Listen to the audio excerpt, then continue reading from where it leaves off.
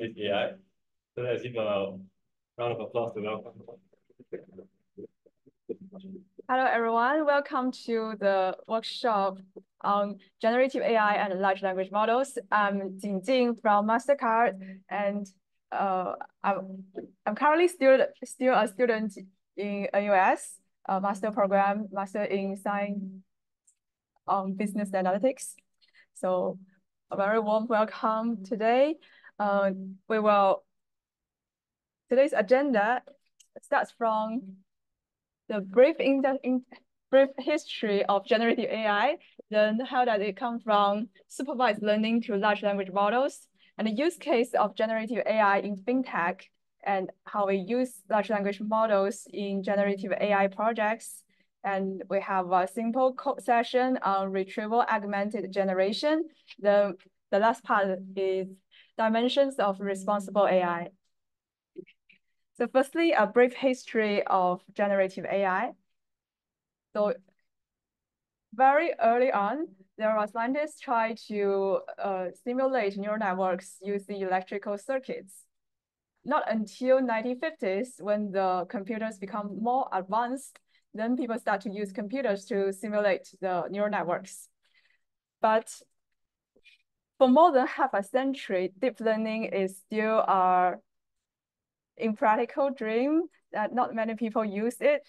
Not until in 2012, uh, AlexNet won the ImageNet competition, and this AlexNet uh, showed to the world that uh, deep learning can actually be very useful. It can categorize objects into a thousand categories with the training data, with a big training data from ImageNet.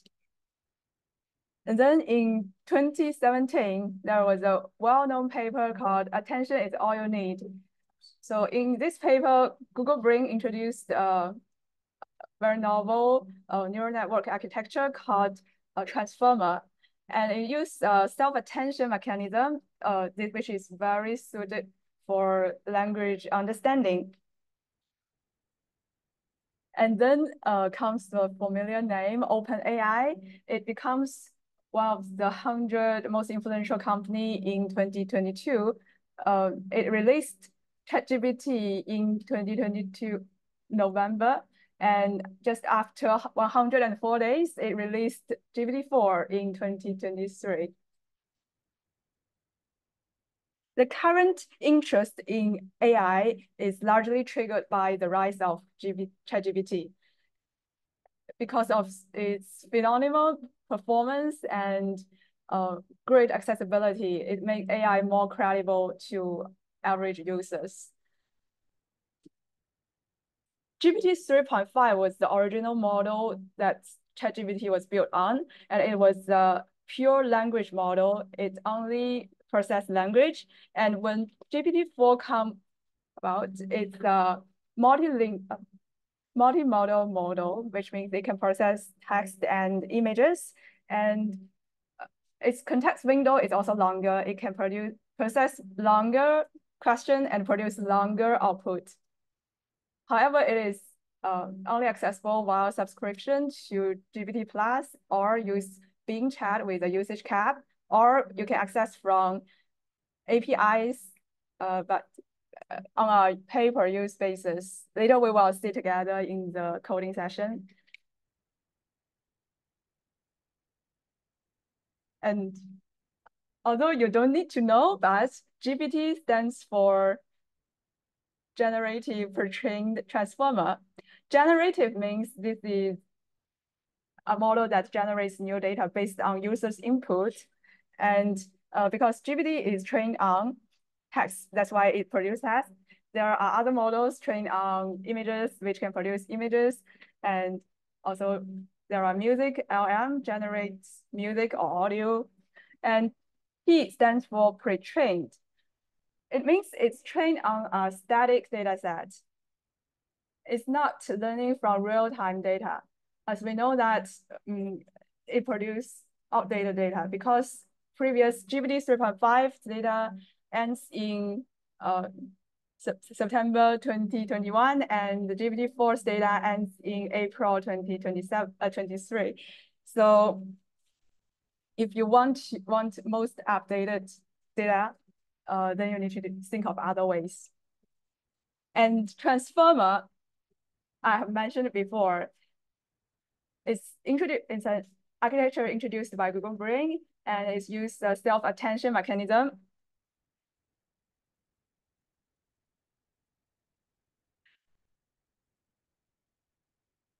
It's uh, it makes uh, interpreting sequential data a lot easier. It's originally it was very difficult to interpret sequential text language data compared to transaction data, weather readings, or uh, stocks data. It's because for language text, it's harder to represent in represent it in a computer readable format.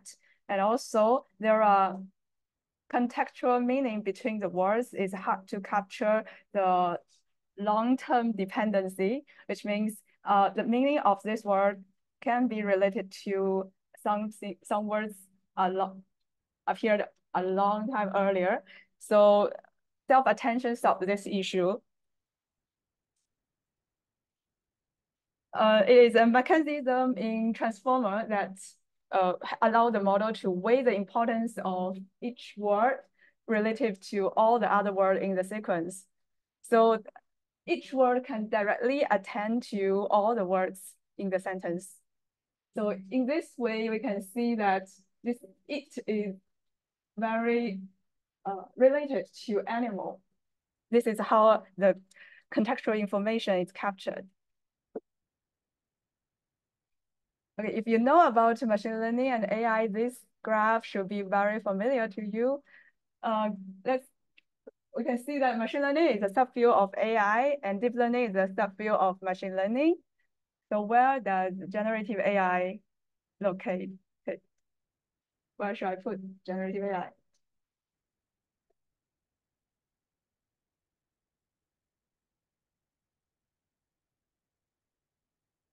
Uh, it is a deep learning model that uh, produce output based on the data they have trained on. There are multiple layers and they rely on very large data set.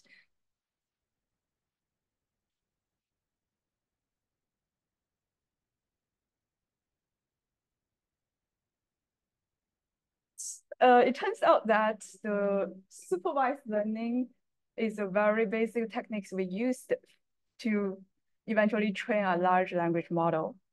And supervised learning, as we all know, it's using an input and output um, to train a machine learning model to label things. So for instance, if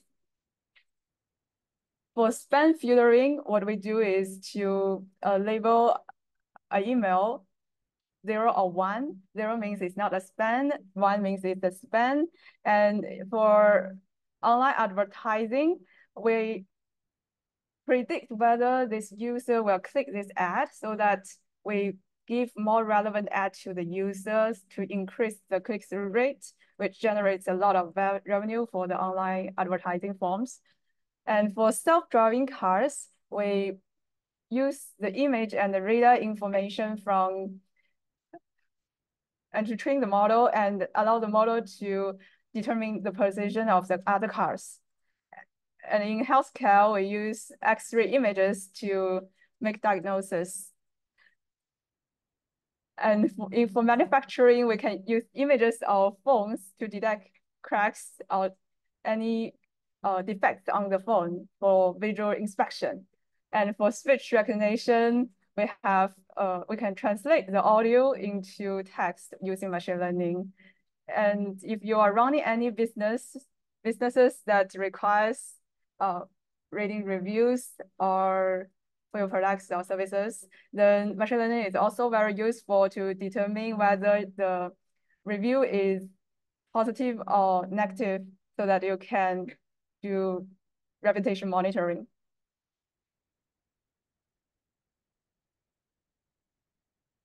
Okay, so supervised learning is a basic technique that we should know for training LLMs, but um, why this is not a new idea, supervised learning. Why uh, applications like ChatGPT didn't appear like 10 years ago?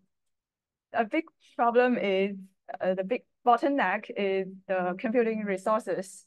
Uh, without the cheap storage, memory processors, GPU, TPUs, and even now we have language processing unit, uh, we can't, it's not possible to train and deploy a large language models such as GPT. And also beyond that, we also, uh, for better and quicker development and deployment, uh, open uh, cloud platforms such as uh, Microsoft's Azure uh, is very useful. It cut off years of the development time. And besides, uh, it's very also, also very important to get access to large scale data sets. Because of the internet and big data, now we have plenty of labeled and unlabeled data we can use to train our model with large samples of real world examples. And next, uh, we have increased computational efficiencies by optimization techniques. We have um, parallel processing, distributed computing, and uh, model compression, which help us to uh, develop better and faster. And lastly, but not but not least, research collaborations and knowledge sharing. Uh, as I mentioned before, GPT uh, Transformer was open sourced by Google, but five years later, OpenAI created ChatGPT. So this cannot happen without this open source effort.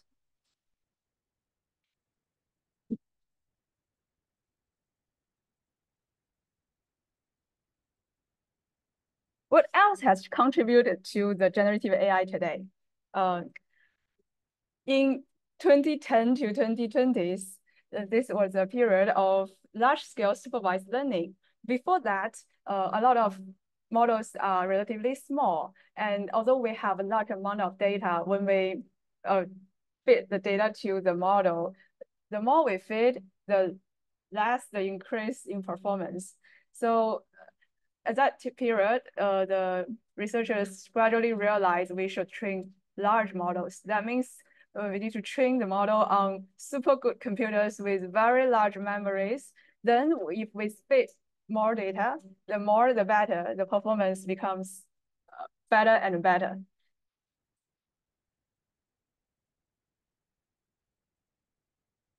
So now let's look at how uh, generative AI can generate text.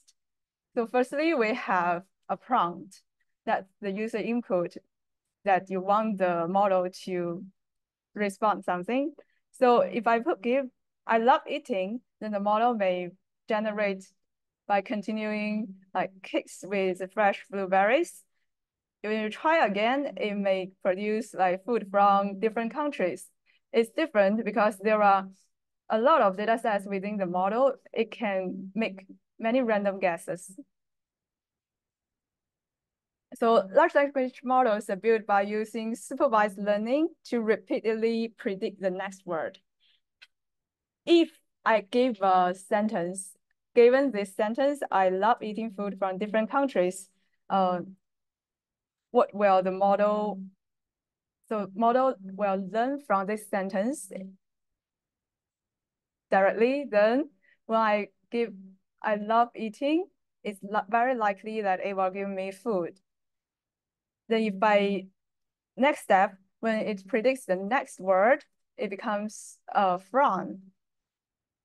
It means the model, uh, from this sentence, the model gets many pairs of inputs and outputs uh, to train itself. If I give I love eating food from, it knows the next word should be different. So it will keep predicting the next word.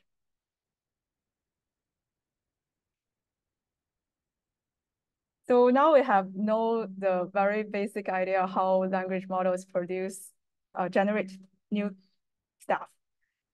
And I think many people have already realized it has many use cases. And that's why many companies are investing billions to it yearly. Uh, all the tech giants uh, invest heavily into AI.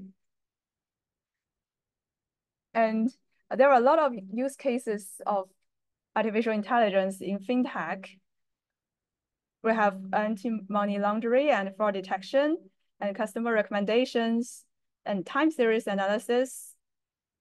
And for large language models, it can improve the performance in customer recommendations and robot advice, and especially chatbots. And within MasterCard, we also use a lot of machine learning and AI stuff. Um, very basic stuff like classification on fraud and risk and prediction on loyalty, personalized card linked offers and recommendations and neural, no, natural language processing. And if you have any good ideas or you want to start your own company, or you already have a company, then you can approach StartPath. They may sponsor you or eventually buy your company, then you can become rich. So let's look back on OpenAI. We know that ChatGPT, uh, besides the language processing or generating uh, images, it also has a lot of plugins. And this is where it can get third-party data to uh, uh, so that the, the responses are not out to, too outdated. And these are all the collaborations done with OpenAI. In the payment and commerce industry, we have, uh, for example, Klarna. Uh, it provides AI-enabled suites of services, including search and comparing prices from thousands of online shops. And in the startups and digital players, we have OpenTable, uh, who leverage OpenAI for restaurant recommendations and booking reservations. The plugin options is only available for GPT-4 in ChatGPT Plus. Now we can uh, have a look at uh, how to use large language model in an, uh, in an AI project. So normally, traditionally, we build supervised learning for restaurant re reputation monitoring. So we have a lot of label data, uh, like what is in the table. We have input, then labeled output. Then we train this AI, train this data on, on using a model. Then we produce the model, we deploy it, run it. And this is the code that we should write for sentiment analysis. But right now, it will just be a few lines like this. We have an instruction text and the review that need to classify it is within the prompt. Then we have a few lines of code to call the large language model to give a response. This reduces the development time drastically. And the life cycle of generative AI project is quite iterative. So we scope the project, we build and improve the system, then we internally evaluate it, deploy and monitor it. And if there is something wrong, we evaluate again and build and improve the system again. But how do we improve the system? How do we repeatedly find and fix the mistakes? And after this, finding the mistakes, how do we fix it? First uh, is prompt engineering. We can give more information, clearer instructions to the model so that it can be a good student and respond with better results. And second one is retrieval augmented generation. If you know your answer is within this book and you think it's better to provide this book to the model so that the model can search from this book directly to give you the correct answer. That will produce better result. This is retrieval augmented generation. And thirdly, fine-tune models. So either you use GPT-4, GPT 3.5 APIs, they provide fine-tuning APIs, and, or you use open source model where you can train according to the instructions on their README pages. And lastly, if you are rich enough, you can build your own models, but it's highly not recommended because we don't have, usually we don't have the computing resources.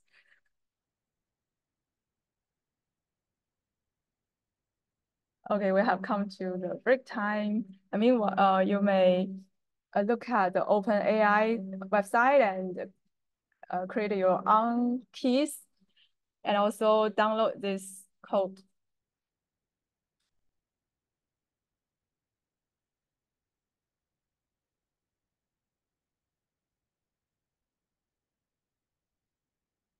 I don't read the studying get pizza. Uh, so guys, uh, in the meantime, while you're downloading the code, can also come and get some pizza. So there's still, still a lot of pizza to come and help.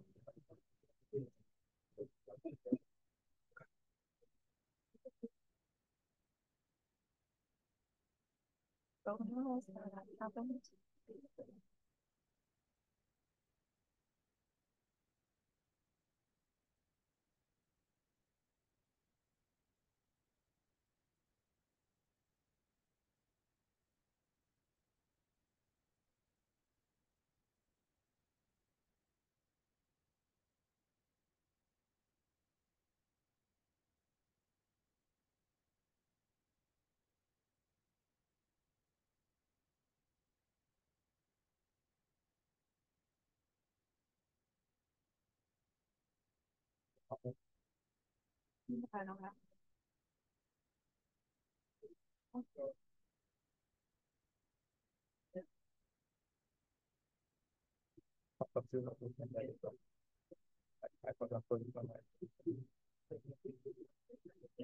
Muito possível.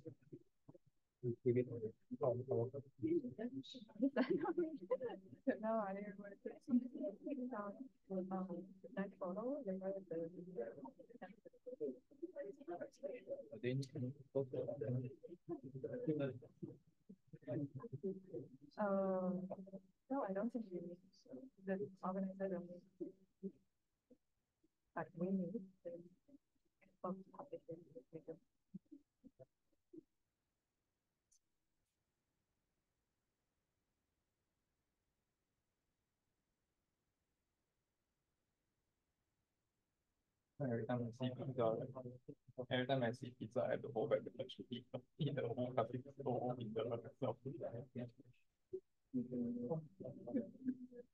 Can I drink? Can I get for you?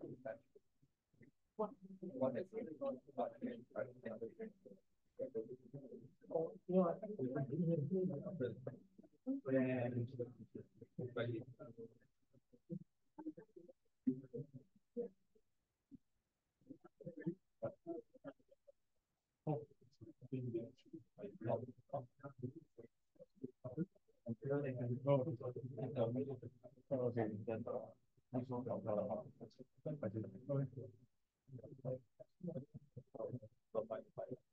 yeah, sure. I, I saw you, I was like. I heard, I heard, I heard, I heard. No, no, no, it's okay. I mean, you guys to. drink something? I have to do it. But in fact, I, I don't think I signed up for the thing, so it's all thing, I think I just want.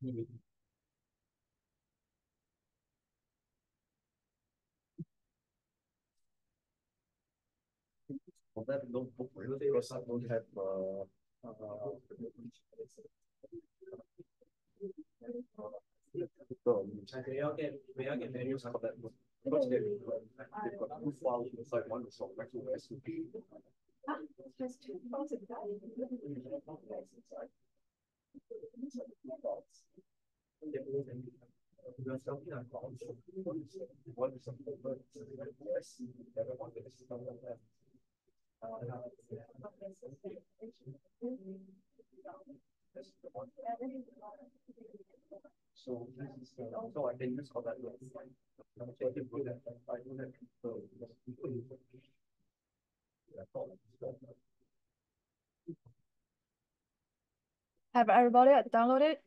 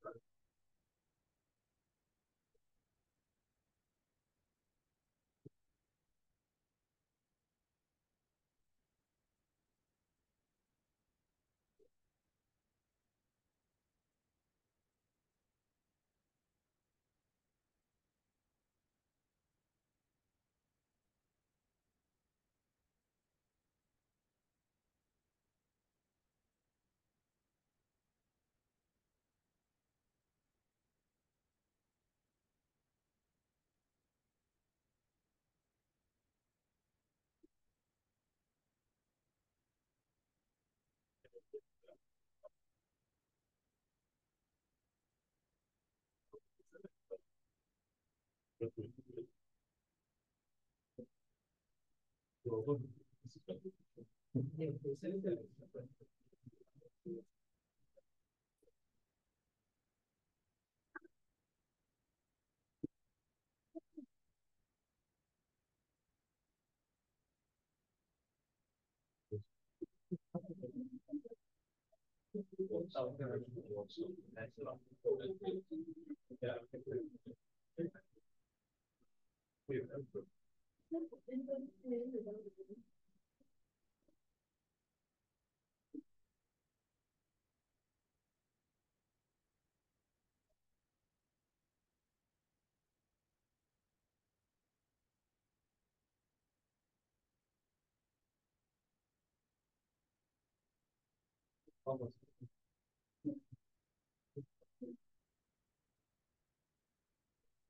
Have everybody opened the Jupyter Notebook, uh, Colab notebook in either Colab or uh, Vi- Visual Studio Code or Jupyter Notebook? If you can't open, then you can also look at Hugging Face.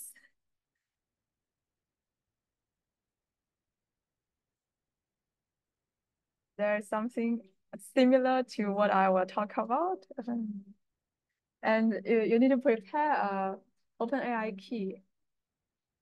Otherwise, you can't run it. Do everybody have an OpenAI account?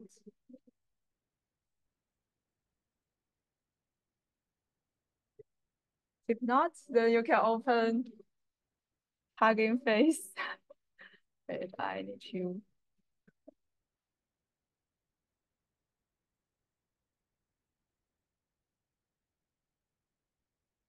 Oh,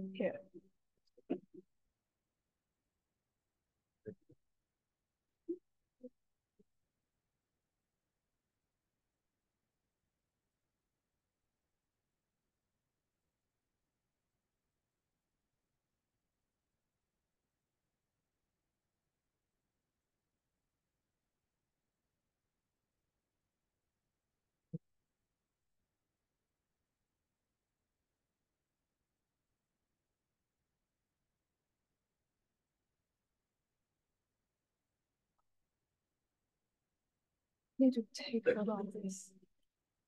Why do we take it?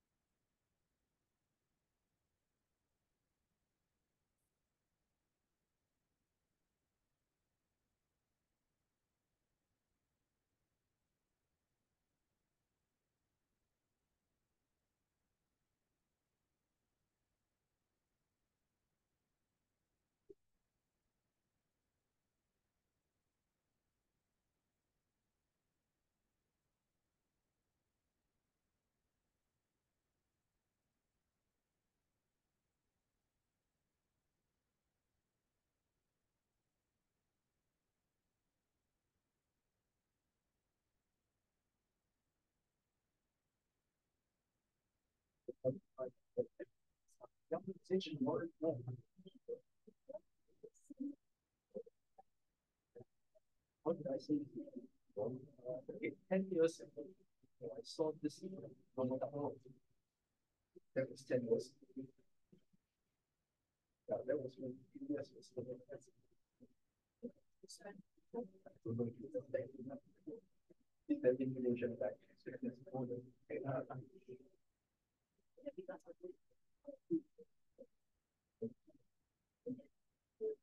then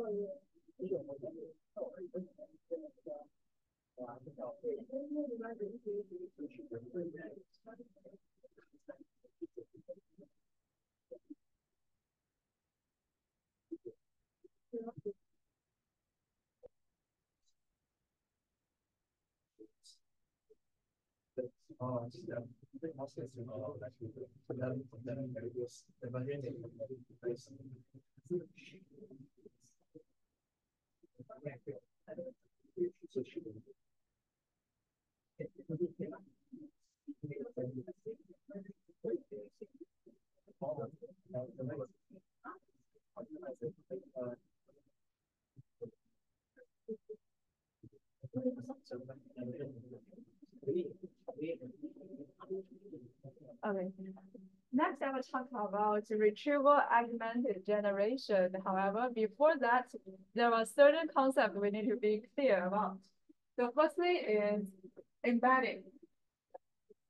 Earlier on, we talked about the, it's difficult to make text languages computer readable because it's in letters, characters instead of numerical words in, numbers. So this is the way to make it uh, computer readable. So through an embedding model, we transfer text into high dimensional dense numerical vectors. So, so that they can be uh, stored in database and also uh, processed by the large language models. Yeah, we are, we are representing we're transferring a sentence into a vector. We can see that it keeps the semantic meanings after transformation. It's all the sentences with the same meaning are closer in the space.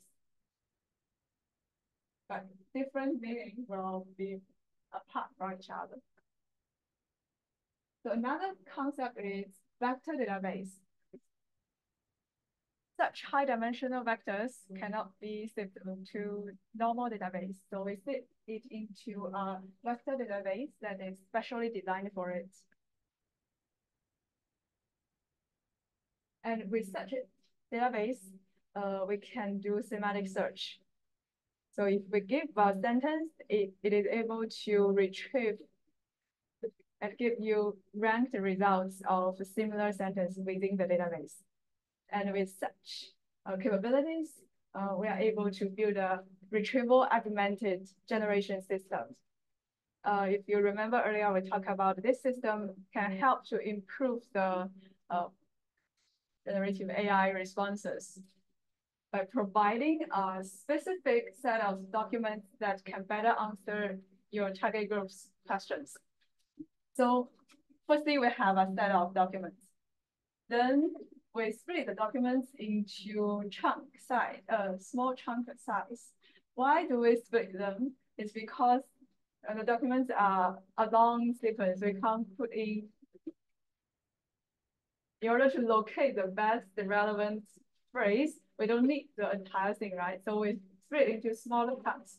Then we use embedding model to embed them into high-dimensional numerical representations. So then we sit into vector database. After that, when user uh, asks a question, then this question will be used to retrieve relevant results from the database. So we get the ranked results, and we also have the question. Then we concatenate the results with the question. So we have a prompt like this. Based on the context as follows, uh, answer the question. Then the large language model will process this prompt and give you a final response. And this response will, based on the relevant results you get there. This is how the response is improved through retrieval augmented generation. So now let's look at the code together.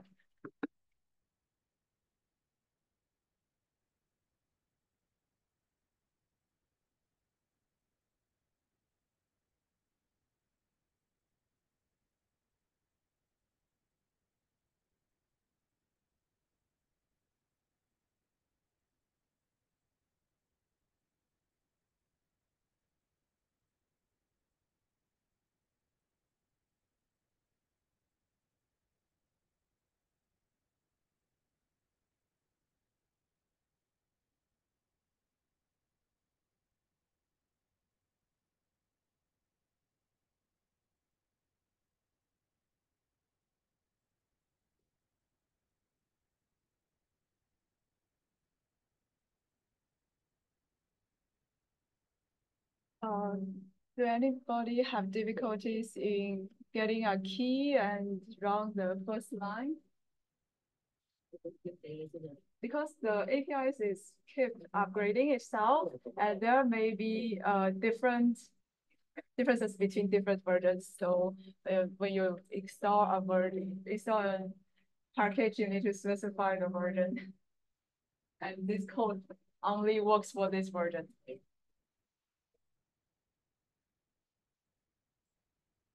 So firstly, um, here we're, we're using the 3.5, which is free to use. Oh, is it free? At least we have some free product. Then the message format is your user, then content your questions, which is a prompt. The response is in this format.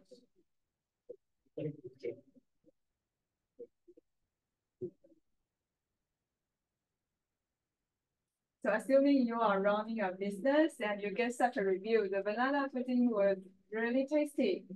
Then you ask it to classify whether this is positive or negative. And it can quickly respond to you that it's positive sentiment. Because the model uh, is able to understand the language with this rich database, pre-trained data. So this is very easy to understand.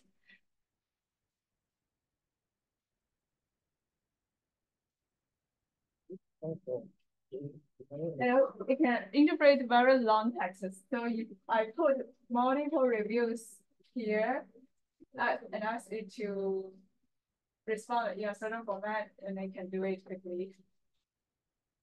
And ask it to count, can also do it.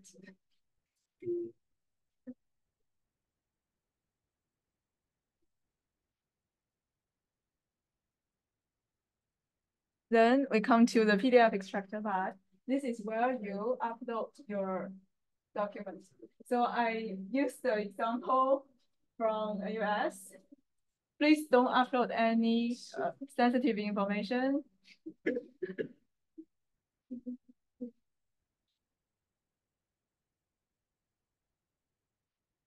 So here I use the very common uh, tool in open in generative AI space. It's called LangChain. It, it is a tool that orchestrates all those uh, LLM related tools together. So you can use it to process any documents and uh, even connect to vector databases from this single tool. So I ask LangChain to help me uh, load this PDF and also split it. This is just splitting according to page. Then after that, we can see that within the pages, there are many new line characters slash n. So we want to remove that. We don't want this happen in the response. So we have the data cleaning and storing step. In this step, we further split the each data in each page. We have defined the chunk size to be 512 and overlap to be 25. Chunk size is easy to understand, it's just how much you want in each chunk. Overlap is how much you want the two chunks to overlap so that they don't miss out uh, any important information at the edge of the chunk.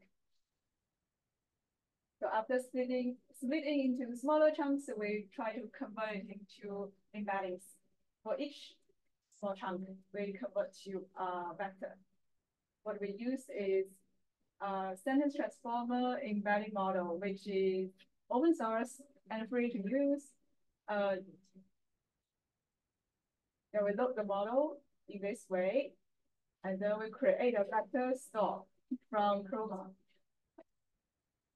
Chroma is one of the vector store we can use. There are also others like us at Python, uh, but Chroma is open source. Then uh, this database is saved to a file.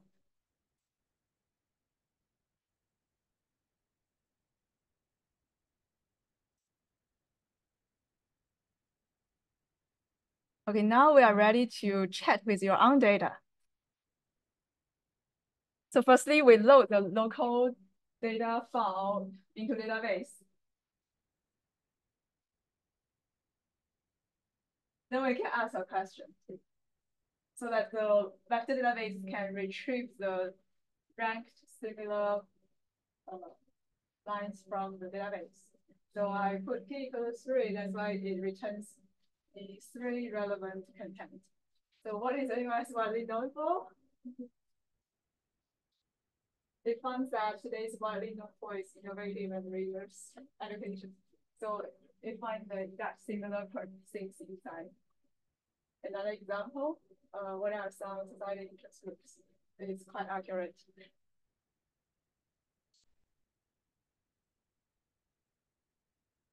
But this is just retrieving the relevant content.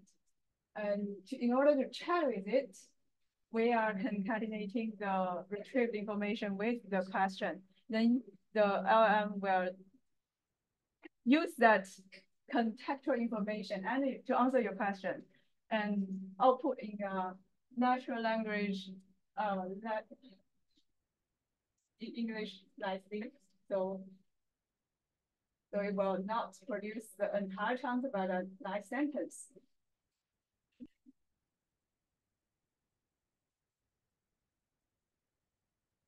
Create a chat, um, create a chat model from OpenAI, then we build the memory buffer so that uh, we can keep the history.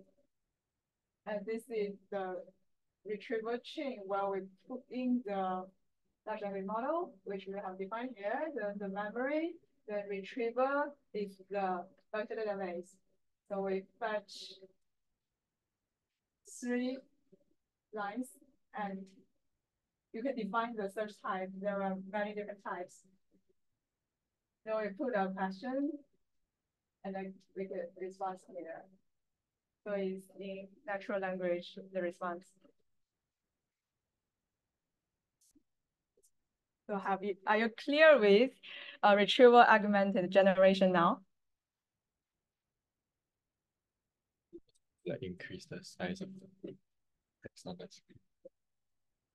Not possible. Not possible because I'm using, if I'm using website, then it's possible. But anyway, they have the Yeah, code. Okay, to make it even clearer, uh, I found an example online like this. So the first step is uh, to process the document and save the vectors into a database. Then, so you can drag a file here, then it will process for you. The second step, query chain initialization. You can choose plenty of the models, open source models online. These are all uh, models available, and there are many more in Hugging Face, which is, which is this website. So you don't need to pay. It's just the performance may be a little bit better, but worse than OpenAI. We can pay special attention to Phi-2. It is a very small model that can run on CPU computers. Yeah, it can run and respond within a few seconds without a GPU. Then finally, you can make conversation with the chatbot.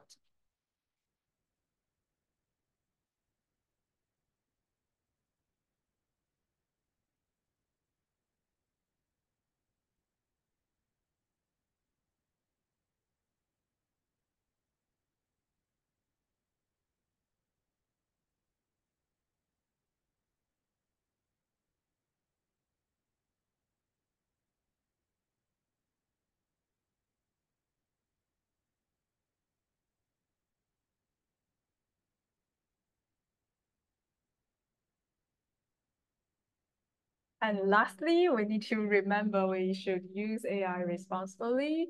So we should ensure that AI does not um, perpetuate or amplify any biases.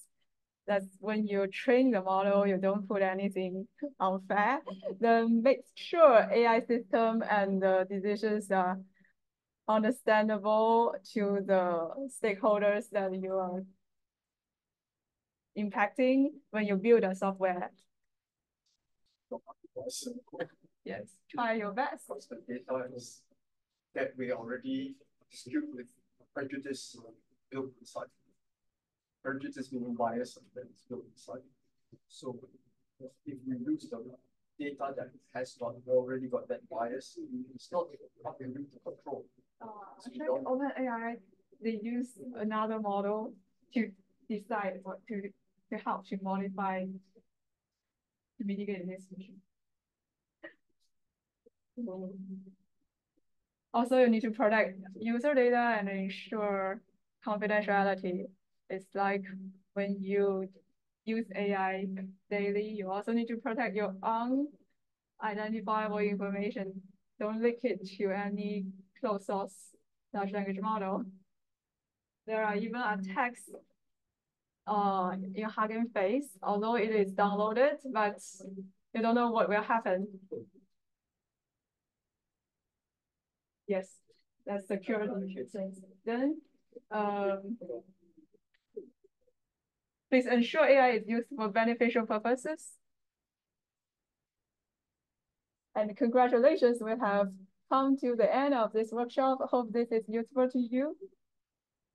And I encourage everyone here to uh, keep reading on this area and keep an eye on the latest uh, updates does that mean that we cannot input uh, something that is, let's say, sarcastic uh, when we are asking him things like, is this a positive or negative feedback?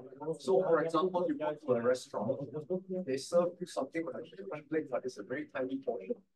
And then after that, you say, wow, the portion is so big,